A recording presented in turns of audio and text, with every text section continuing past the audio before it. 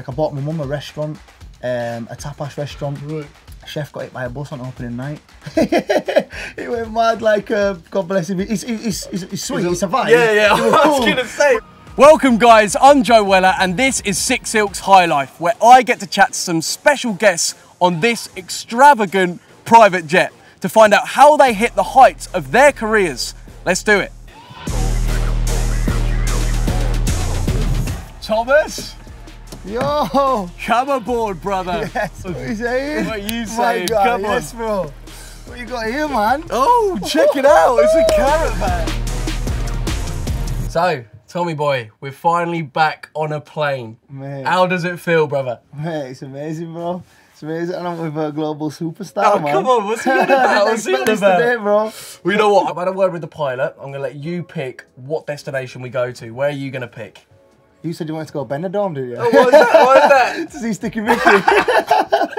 Maybe. All right, all right. I'll let him know. Um, but look, bruv, the first question I want to ask you, obviously, this is all about how you got to where you are in life. Basically, I saw that you sold out a club, your first club night, when you were 17. Is that true? yeah, yeah, yeah. How? I started making like a little name for myself in Leeds and right. around them areas uh, with with CDs. Back then it was like copied CDs, and I thought the next best thing was to throw a party. Right. But I, so I managed to like blag a club owner basically to let me have a Thursday night. Um, I sold 300 tickets. And then like the music production, was that before that? Or did that were you like, well, I'm throwing these parties, I might as well learn how to make and play my own tunes as well? I basically started by just like MCing in my bedroom. Right. As I got a bit older, I was listening to like bassline music. Yeah. And that's like um, speed garage, old school like dance music. And I just used to rhyme over it. And then I heard other MC groups of MCs like Sidewinder and Heartless Crew and other people. All and I used to listen to a lot of Eminem as well. Yeah. So like I would just like ra- rhyming and then I suppose rapping and MCing and it just came over. That's how I just started doing all that. So I would just basically MCing for a laugh with my friends really before we started um, actually making beats. It's, it's so mental because like this, what you're saying, you you did then, and that's how you started. That's like the idea that I'm currently trying to put together. So in lockdown, I spent the time like learning to DJ, me and my friend, um, and we're currently in the process of arranging like putting on events that we're going to take around the UK, Yeah, and then take around the world, hopefully. Yeah, that's a And I'm just shout. like, that that is like obviously exactly what you done. Mm-hmm. But something else that I saw in it is that apparently doing the touring actually made you fall out of love with music. And is that true? I basically didn't have any rest. Like Mm. I remember I once did 250 shows, and it was like nearly a different country every night. Oh my And or, God. Mm. or, it, or it was on the road in UK doing city after city after city after city. I mean, I was really exhausted because it sounds really glamorous. Like you got to understand, like a beef on a Monday, it'd be five o'clock till six o'clock in the morning in Sankeys. Yeah. Then I have to get to airport for ten o'clock in the morning. It was just non-stop. Yeah, because people like will say, okay, you, know, going around the world playing the tracks, doing that, that's like the dream for like a music performer, right? Mm. Yeah, yeah. But did you like realize that hang about that's actually that's not what you know? Yeah, there was probably money with it as well, a lot of good times, girls, whatnot. Mm-hmm. But that's not actually like what fulfilled you. don't get me wrong. Like like I said, it is it's amazing. I'm very blessed, very grateful. I can Yeah. do this stuff. I'm very happy people like my music and want to see me in shows and stuff Right. like that. Um, it came to a point where on a Saturday night, I just wanted to put my feet up and watch TV, watch X Factor or something. And it sounds really mad, but now after a year off with lock, you know lockdown and stuff. I'm really excited to get back to it, but I've just really, really enjoyed all this time off to just. Mate, yeah. I've made loads of new music uh, with a lot of new producers. My cousin SJ has been making some bangers and a lot of new artists.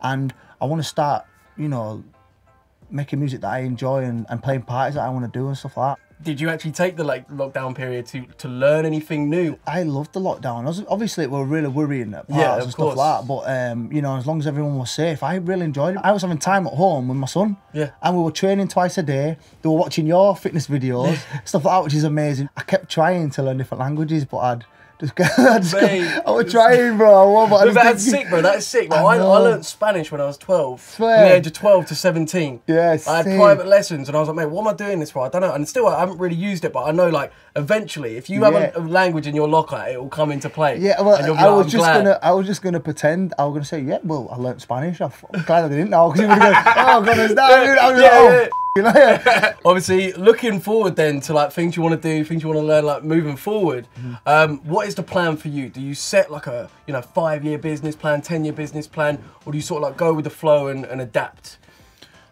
I do go with the flow, but I like to explore every opportunity and I like to set goals and Right. you know work towards them. As cliche as it sounds, that's what I like to do. And you know, I've got um, a club in Leeds called Dollhouse. I run a lot of big festivals, and I'm making music.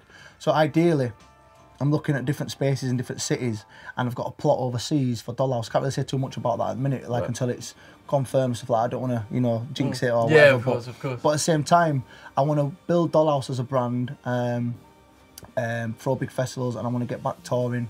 I just want to put out some good music. I've got so much music that needs to come out. That's it. It's, it's like a that, that sounds obviously Dollhouse is your that's your brand, right? Yeah, yeah, yeah. That's that's so my my one that I've like invented in in Yeah. the lockdown. Parallel Nine, right? Okay, yeah, Basically, we uh yeah the name I can't I can't go into live, but yeah we want to take it from like obviously start off being like club nights around the UK, eventually putting on festivals, getting like names like yourself Yeah, to yeah. like perform, that play like you know make like like like-minded music. Yeah, yeah. Um, but it sounds like yeah, like that's a similar thing that you're onto, and I, I just think that that's so sick because like the limit with it is is, is endless. Could make it you know But a got- resort, a you know Oh, beach. uh, you know what I mean? There's Doll a, Beach. Yeah, do you know what I mean? Doll I've got Beach. a baby doll, which is the miniature. Yeah, do you know what I mean? Every city I want, I want a dolly dessert. I don't want to say this on here. No, wait, yeah, But no, don't give you it all away, don't I've give got it all away. Big, big plans, bro, and it's all materialising slowly but surely. Yeah. It's coming together. I've been working hard through lockdown. We lost a lot in lockdown, do you know what I mean? course, We're yeah. living on means, Do you know what I mean? So right now I'm just exploring opportunities. We've made some good deals and some good connections, and, and we're, we're, we are going to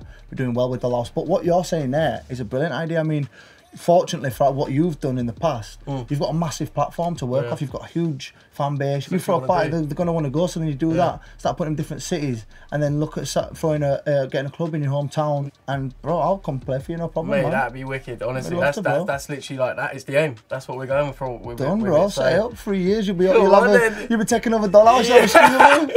That is Power Nine X Styles. We'll, do, we'll do something like that. Wicked. What I want to know as well is how important is money to you? money just don't mean nothing to me, bro. Like I, I grew up for the past ten years.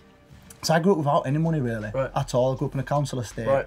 And my mum was a single mum with three kids, so we didn't have any money at all really. As I got a bit older, I made my own money. I had a son when I was at a very early age, uh, and I had to work and work and work.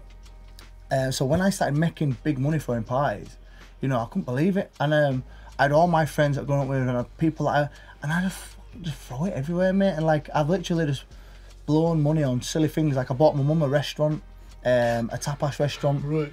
Chef got hit by a bus on opening night.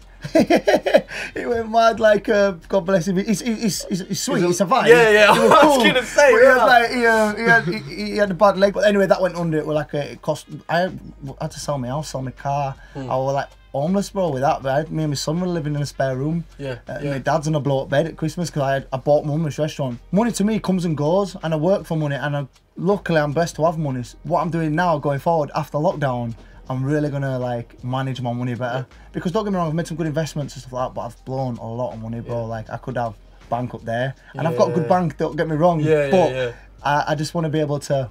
Getting a bit older now, aren't I, bro? I need Right. a pension plan. Mate, I feel you, know I feel mean? you, I You can't you. keep blowing money on champagne and silly stuff. What would you give advice to people that are wanting to make, you know, make it at a point where you know they're flying on private jets and they, they don't need to worry about where the next you know paycheck's going to come, Yeah. where they're comfortable. How what sort of advice would you give?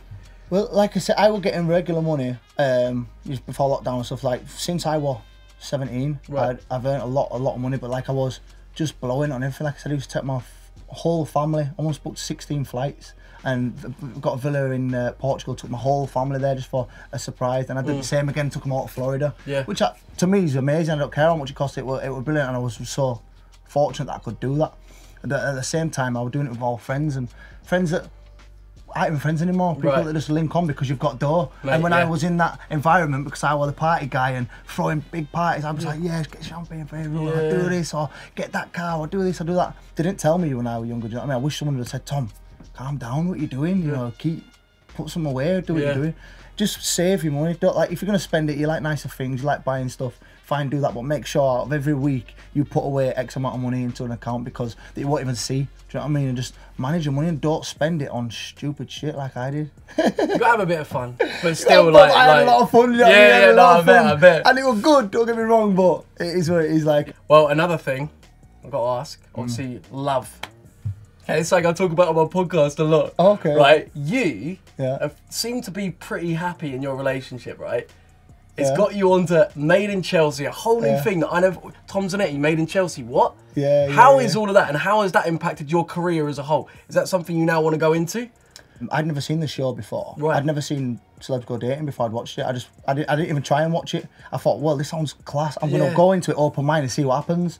Like that's why I didn't know Tom Read at first. Yeah, yeah, yeah. Amazing, I love him to pieces. Don't get me wrong, but I didn't know anyone on, who was on there. I didn't know what was going to happen. Sophia was in there, and Yeah. I've not seen her since the the mansion. I Yeah, want, yeah. I want to see her in person of and course. Mm. you know enjoy each other and without. I don't want her to think that I'm just coming on TV to see her. So I said no. I said, well, look, it's Sophie's birthday.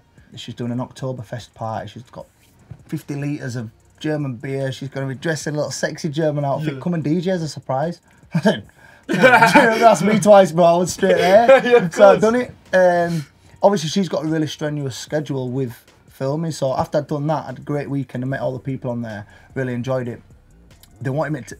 The producer wanted me to stay long term, but I went home. Do you know what I mean? I didn't want to over, well, overstay my welcome. Yeah, yeah, or, of course. So I got off, but then she was still in there. I'd not really seen her. I'd not seen her, so I went back in to see her again. They asked me to come on. It was lockdown. I didn't have a girlfriend at the time. Right. They said you're gonna come party in a mansion We'll of crazy characters, and we'll give you a lump of dough. Like, Yeah. again, why? I'm there, bro. Yeah. Do you know what I mean? Yeah. right, let's do it. Some DJs may go, look, I'm a DJ. That is what I am. I want to be only known as that. I don't want to branch out. But I think branching out down if different avenues that could open even more doors is like almost key to maintaining a successful career business because otherwise you get left behind. Do you know what? Do you I know what I just do what what I enjoy. If I, if I think something's going to be fun, I don't care what anyone thinks about Right. it. That sounds to me like an amazing experience. Yeah. Obviously, I w- I'd like to explore more opportunities to see, but obviously, you know, things that I think are going to be fun.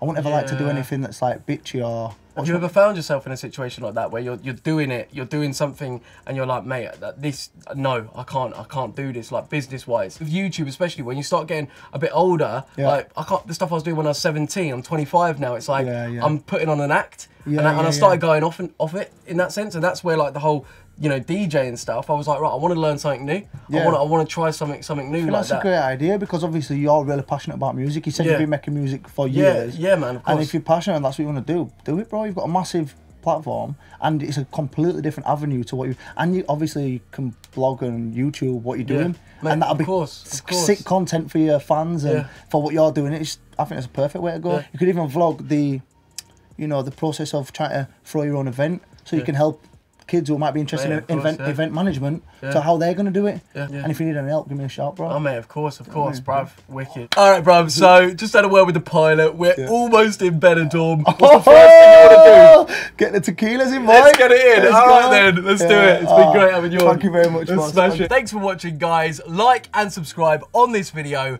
and please comment down below who you'd like to see me sit and chat to next time on the SikSilk's High Life.